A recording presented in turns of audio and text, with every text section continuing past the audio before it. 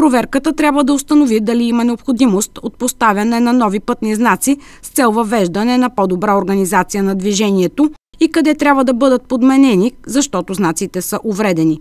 Инспектирането се извършва поетапно в различни части на града. Към момента са възстановени компрометирани от ниските температури през зимата пътни знаци по булевард Симеон Велики. Подменени са изкривени и увредени заради вандалски прояви знаци на улиците 6 септември, Васила Прилов, Марица, Университетска.